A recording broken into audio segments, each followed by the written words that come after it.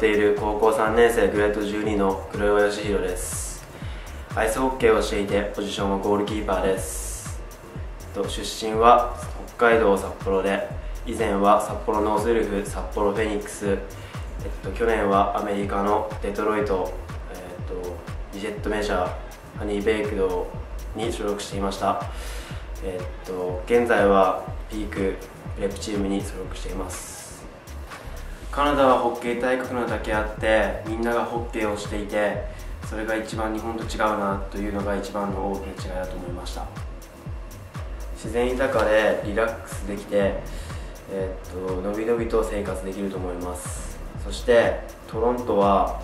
えー、っと多国籍な国なのでいろんなあの国から来る人の文化を学べると思います。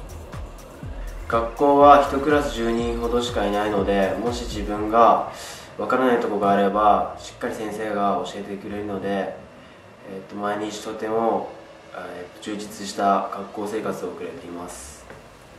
ピークには留学生で英語が喋れない人のためのクラスがあるので1年この学校で学習するだけでかなりの英語力が身につくと思います。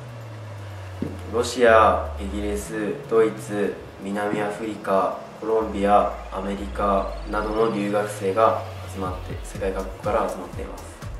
ピークにはアイスホッケーをはじめサッカースクワッシュラクロスウィンタースポーツなどのアスリートプログラムが用意されていてアイスホッケーだけではなく他のスポーツ選手ともお互いに刺激し合えるのもいい点だと思います。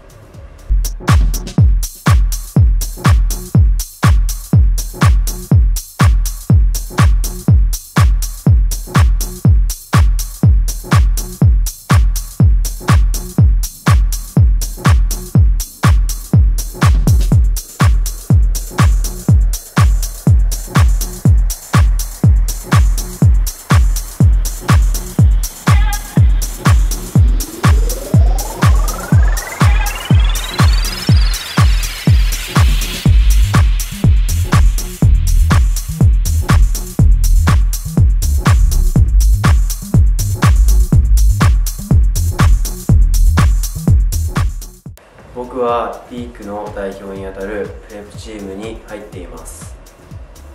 このプレップチームはカナダのジュニア A アメリカのジュニア A と変わらない高いレベルで戦っていてとてもいい経験ができています。プレップチームはピークタイムという2時間目の後の表情練習があって1時間半 OK をします。そして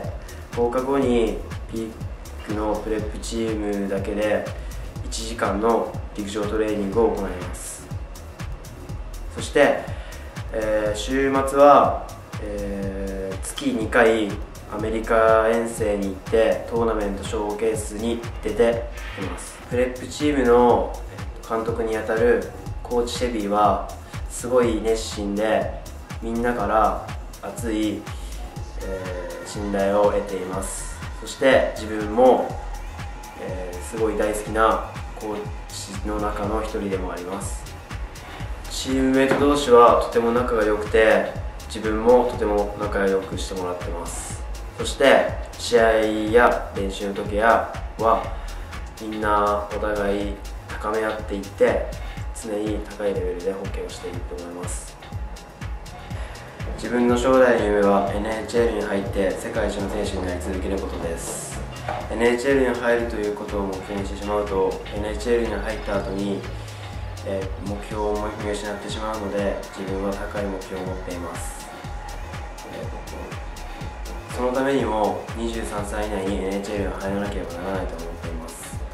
そして来シーズンは OHL という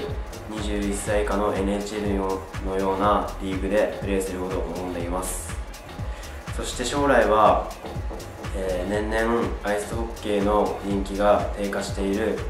日本アイスホッケー界を変えたいです。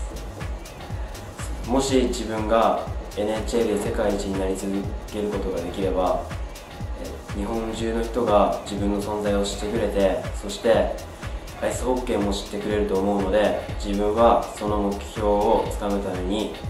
日々努力して妥協しないで頑張っています。必ずサッカー野球に負けないぐらいアイスホッケーを日本の中で人気なスポーツにさせます。